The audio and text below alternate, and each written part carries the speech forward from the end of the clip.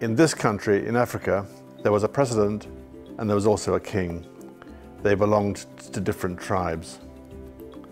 The enmity of the tribes was old, and with independence, their anxieties about one another became acute. Well, I find it very interesting because the 1970s was the decade when I sort of came of age as a reader. So I'm going back to my early 20s, books which I remember as being very important to me when I was growing up. And so it's like stepping back in time. It's like meeting my old self. It's been strange, but very, very interesting. Uh, I mean, Naipaul, I think, is for all time. And this is a great book. It's, it's strangely thrilling. It's also modern. It's marvelously written.